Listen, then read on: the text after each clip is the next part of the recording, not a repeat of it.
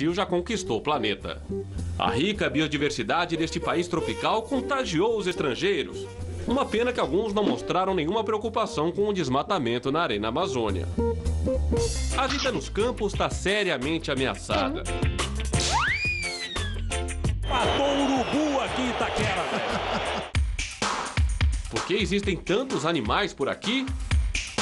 Sei lá, é o clima, a umidade relativa do ar. Tem que ter cuidado os fotógrafos, porque senão vão se molhar com essa irrigação, hein? Tirando algumas cenas lamentáveis, o evento foi bem legal. Apesar das águas muito fechadas, Rames Rodrigues mostrou que tá com a bola cheia. O meia e muitos atacantes gastaram a rede. Para consertar, nada melhor que o jeitinho brasileiro.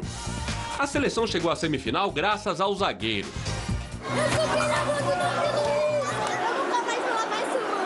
Os alemães sobreviveram graças à firmeza de Neuer e às faltas muito bem ensaiadas por Miller e companhia.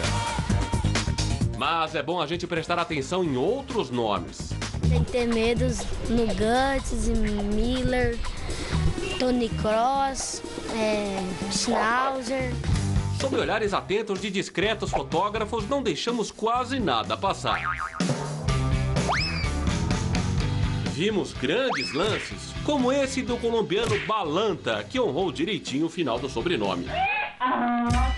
Alguns atletas a gente identifica de longe, como o ganês Jean, camisa e cabeça número 3. Outros, como camisa 20 e calção 19 do Chile Arangues, são mais complicados. A família Del Bosque não se perdeu apenas durante a competição. A volta para casa também foi um problema.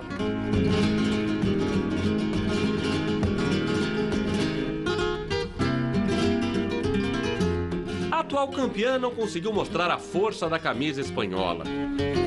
Seleções menos expressivas também tiveram sérios problemas com o uniforme. Entre tanta gente pega de calças curtas, Fernandinho conseguiu escapar. Opa, olha ali o quadrado pra cima do Fernandinho. A arbitragem não passou despercebida. Impressionante como os juízes estavam em cima de cada lance. Impossível não destacar a participação decisiva de Rachan Irmatov. Sobre o spray, nada a declarar. Outro ponto intrigante do Mundial foi a quantidade de gente querendo derrubar integrantes da comissão técnica. Depois da falta de respeito de Lavezzi, Alejandro Sabelli balançou. Felipão por pouco não furou o olho de Carlos Pracidelli. Mas o único que caiu durante a Copa foi Carlos Alberto Barreira. Incrível a nossa cobertura, não? Desculpe a falta de modéstia, mas também com uma equipe de estrelas internacionais reconhecidas em todo o planeta, só podia dar nisso. Can, can you repeat the name of this guy is? Thank you. Viu como somos amados pelo público? Corinthians de Itaquera, eu ganhei um beijo aqui. Duas horas para o jogo começar. As ruas de Belo Horizonte. Os argentinos apostam em Messi. Torcida brasileira quer ver Nossa! o Brasil ganhar do Chile. Homem? Aí não, né, Renato? Aí não dá.